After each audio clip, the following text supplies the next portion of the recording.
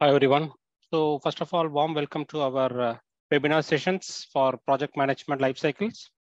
So agenda for today's discussion is uh, we're going to talk about uh, what is project management and what is PMP and PMP certifications.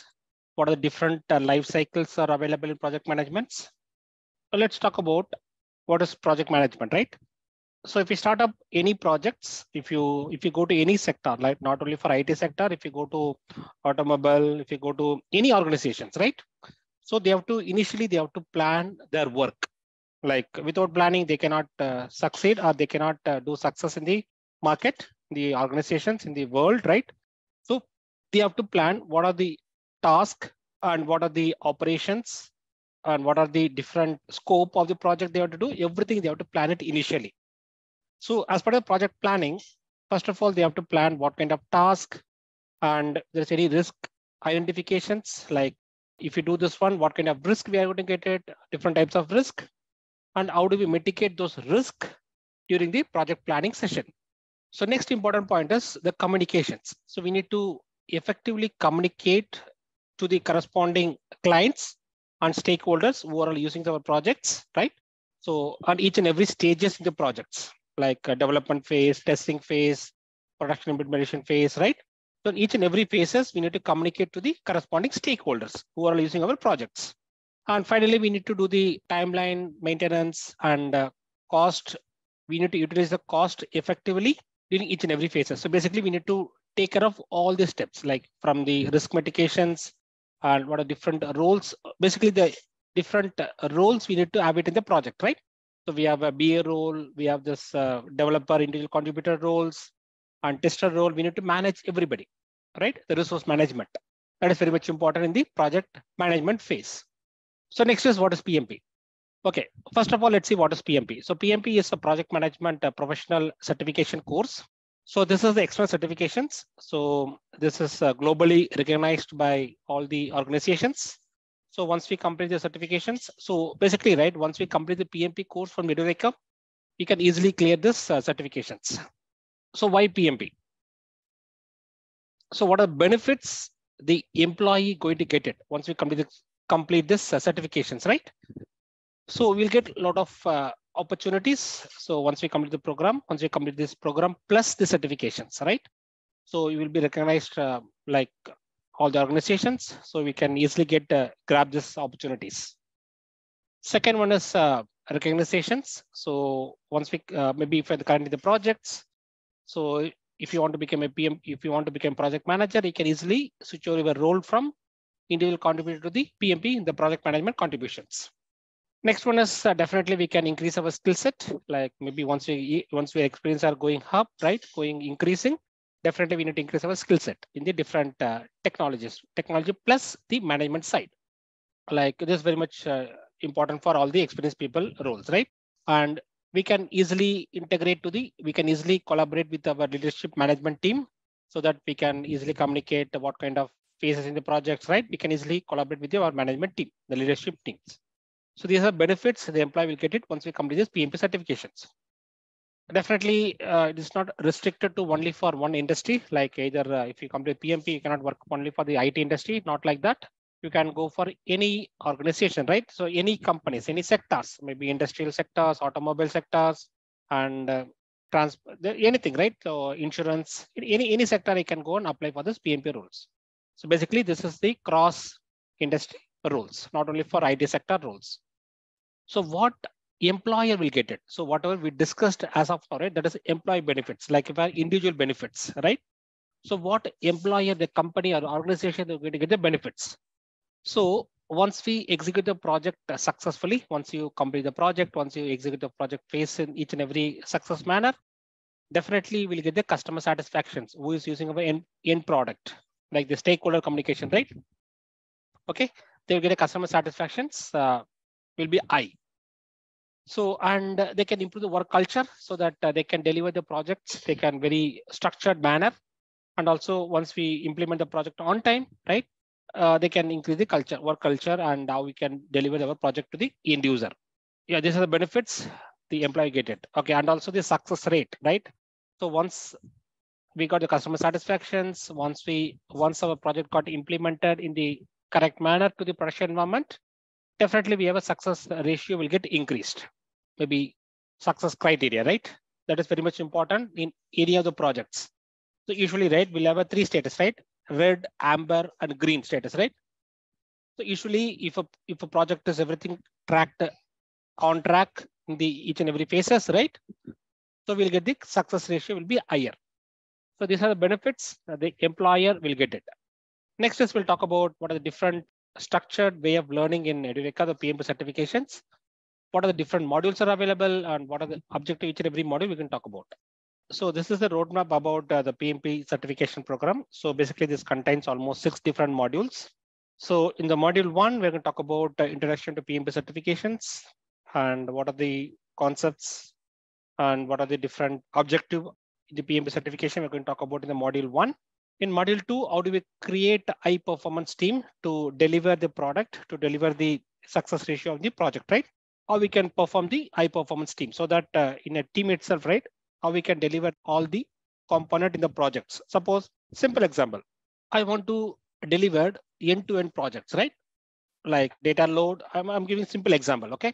So I want to do the data extractions, data load, and then reportings, finally visualization, right? So basically, I'm going to have a database knowledge plus ETL knowledge plus reporting skill knowledge, right? So if you have all the team member, so if you have a team member knowledge for all these three technologies, they can develop high performance team, right? So basically they can deliver the project end to end for the data warehousing technologies, right? So how do we create a high performance team? How do we form the teams? And then starting the projects and do the work on, on time like and also uh, track the uh, team performance, the team task, what are the tasks they're doing on it, track it and each and every phases in the projects, the planning phase, testing phase, integration phase, and deployment phase, each and track each and every phases in the projects. What are the teams they're doing on the day-to-day -day activities. Finally, how we can effectively communicate to the users, end users, or the stakeholders for the business point of view, right? So finally, they are the one they're going to use our project. How do we communicate? How do we make the good communications to the stakeholders? So this is a complete uh, roadmap about this PMP programs. Okay, let's talk about life cycle of the project management. Like there are four different life cycles from initiate initiate licensing phase until the closure.